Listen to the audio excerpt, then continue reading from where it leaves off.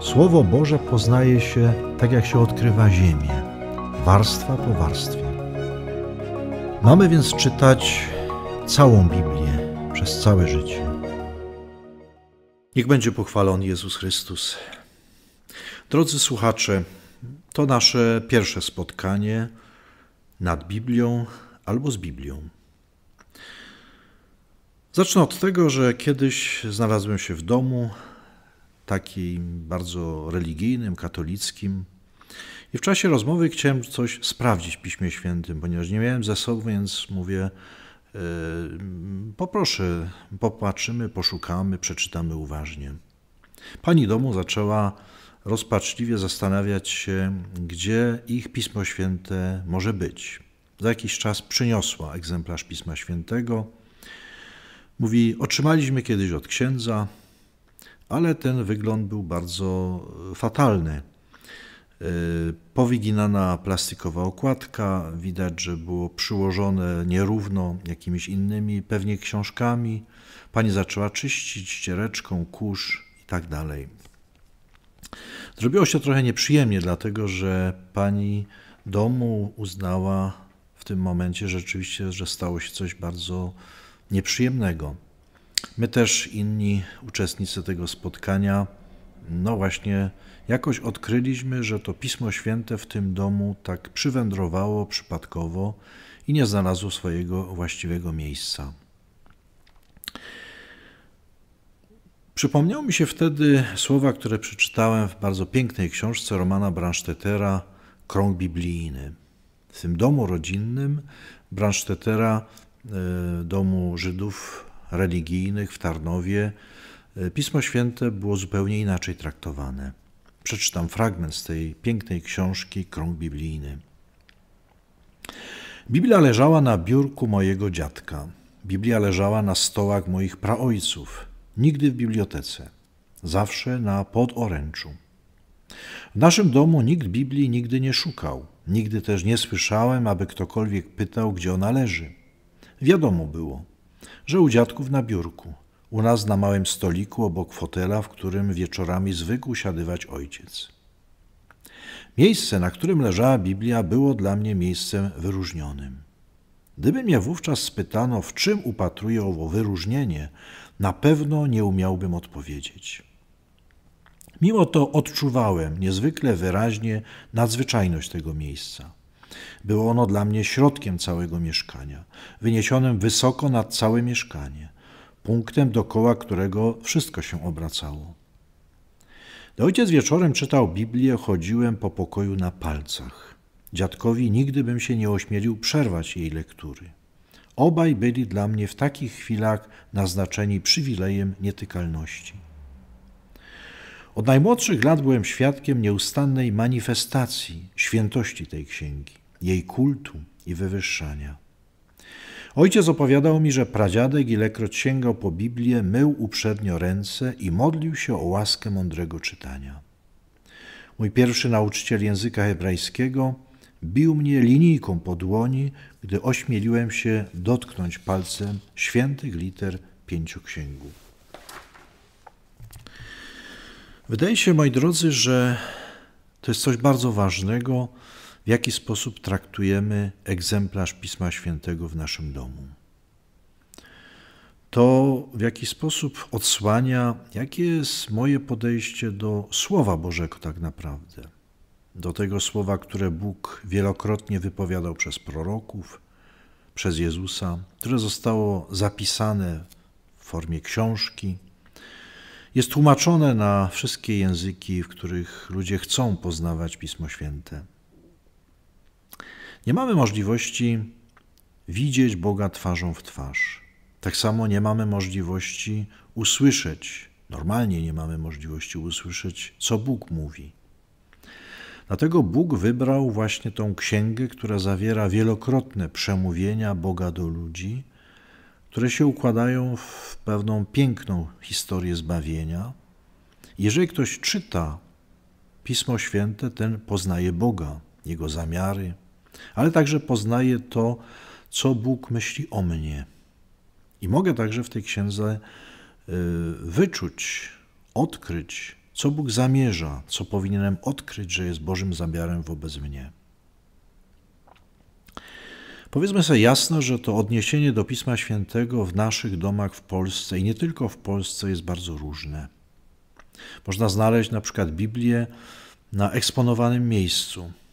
Może być duża, piękna, kolorowa, umieszczona koło takich pomników kultury jak Iliada, Odyseja, Pantydeusz, Trylogia.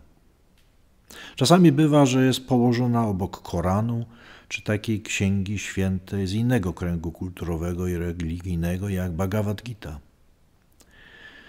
Z punktu widzenia jakiejś systematyki to jest jakiś porządek, bo to są księgi religijne i Koran, i Biblia.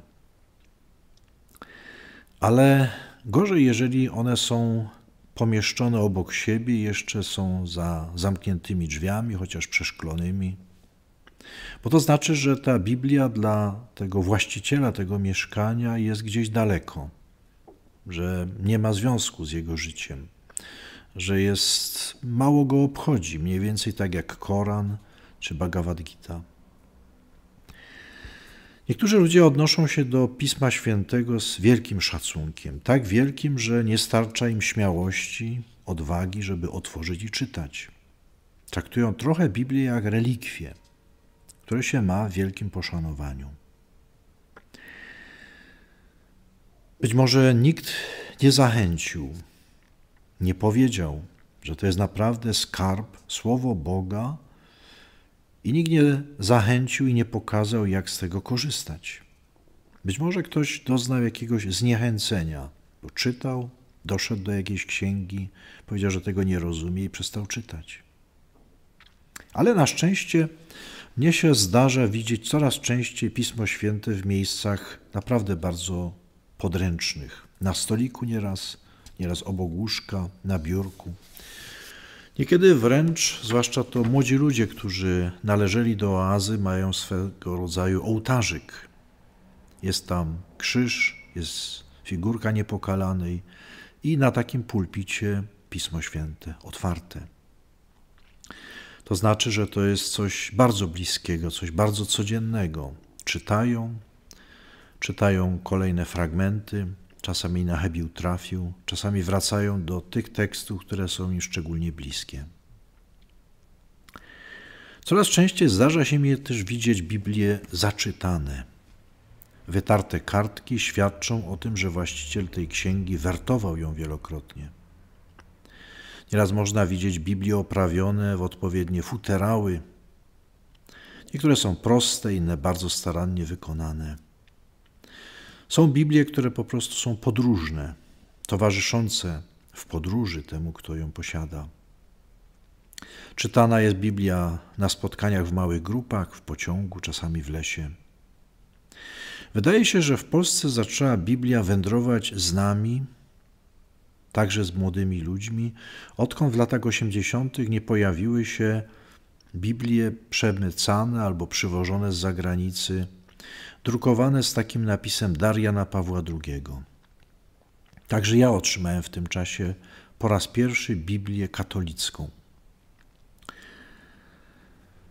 Człowiek dla wyrażenia swoich relacji do innych ludzi posługuje się słowem, gestem, symbolem. Można pięknym słowem oddać szacunek, jaki mamy do kogoś. Można ukłonić się, można ucałować w rękę, pocałować policzek. Niekiedy okazujemy szacunek poprzez jakiś przedmiot.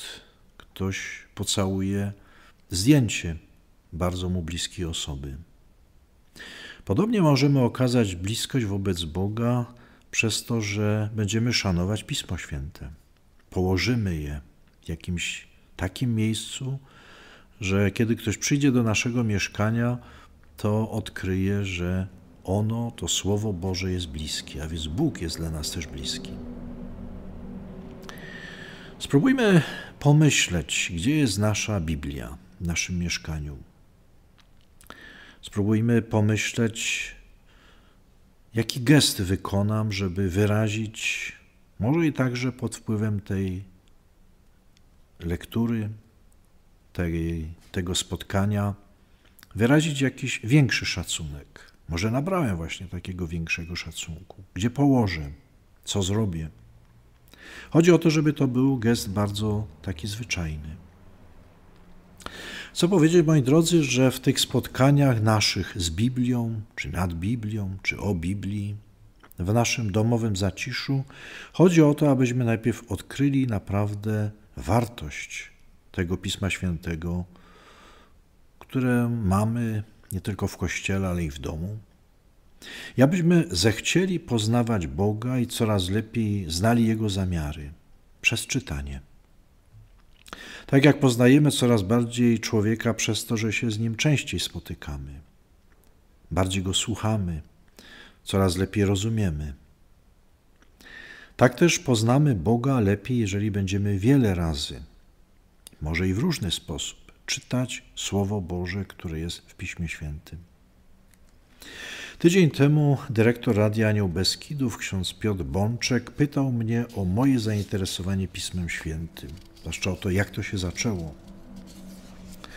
Do tamtej odpowiedzi dodałbym coś, co wiąże się z naszym tematem Moja Biblia czy Biblia w moim domu. Tak jak powiedziałem już, pierwszy egzemplarz katolickiego Pisma Świętego dostałem wtedy, kiedy zaczęto przywozić z zagranicy w dużych ilościach, bo przedtem rzadko wydawano całe Pismo Święte. Ten egzemplarz już trochę zużyty przez to, że czytałem dużo, podkreślałem jeszcze w seminarium. Ten pierwszy egzemplarz wziąłem na pierwszą parafię, którą były Kozy. Zacząłem pracę tam w 1983 roku, w tej miejscowości, w której wtedy była jedna parafia. Tam znalazłem kogoś, kto pracował jako introligator. Pokazałem mu już trochę zużytą tą moją Biblię, wtedy w plastikowej okładce.